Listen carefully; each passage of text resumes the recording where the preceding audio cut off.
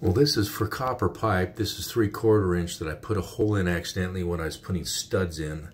So as I spliced it back in and was using the traditional soldering method, it became very difficult because even a drop of water will can uh, mess up your soldering joint. And on the bottom of these slip joints, that's what I was trying to solder and it was not uh, working out. I had to cut it out again.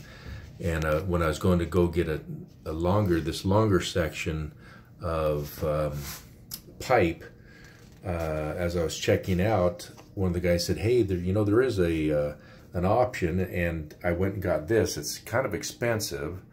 It's uh, just for copper, and it's uh, solderless bonding, and it worked great.